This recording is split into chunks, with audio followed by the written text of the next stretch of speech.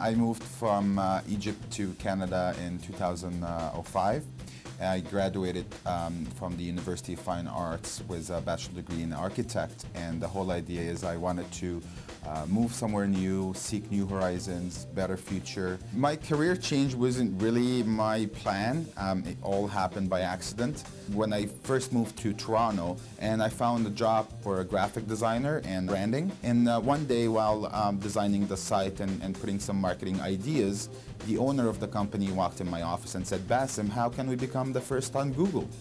And my eyes like were wide open. I'm like, I have no idea. Let me check on it and uh, I bought a book and uh, within six months we like tripled uh, the traffic for the website and that's really what sparked the interest in search engine marketing and search engine optimization i'm like how come little few things that you can do to your website can like triple your business how um, interesting was it to understand how people react on online um, and the numbers and the conversions was really intriguing to me and that's really what got me into this whole search engine marketing.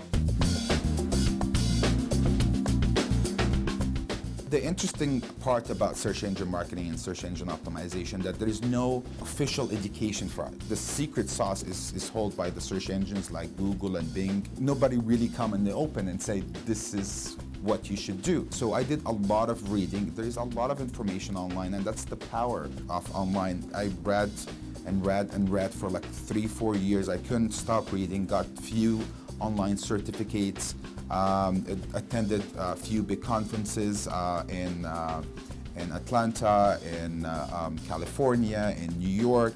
Uh, so it's, it's going to see those big players and going to listen to Google speaker talking and Microsoft speaker talking on the technology and how it's developed.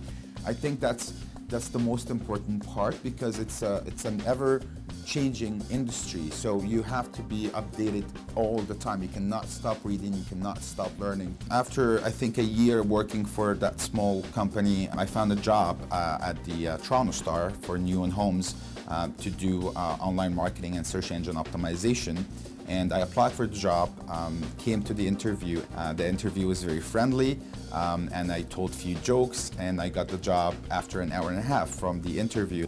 Um, so after I, I, took the job at the Toronto Star, uh, I worked there for about two years and a half um, and we achieved great results. In, in two and a half years, I think we increased the traffic by almost 3,000%.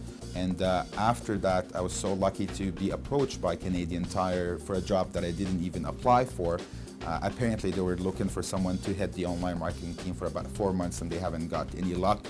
Uh, so one of the internal uh, recruiters reached out to me on LinkedIn uh, and asked me to come for an interview and, and that was the highlight of, of my career.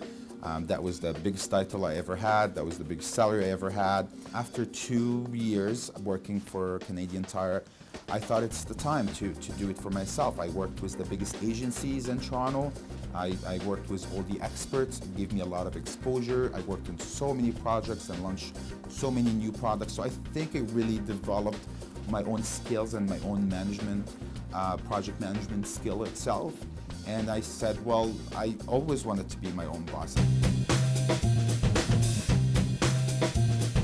I don't think Canada is one of those countries that you, you suffer from uh, being discriminated against because you're a new immigrant. Canadian corporations are very respectful and, and the value of work here in Canada um, is, is, is much appreciated. My advice for the newcomers or the people about to move to Canada um, is really have a lot of courage. It's not an easy migration process. Um, a lot of the qualifications and the things we rely on in the Middle East don't worth a lot here.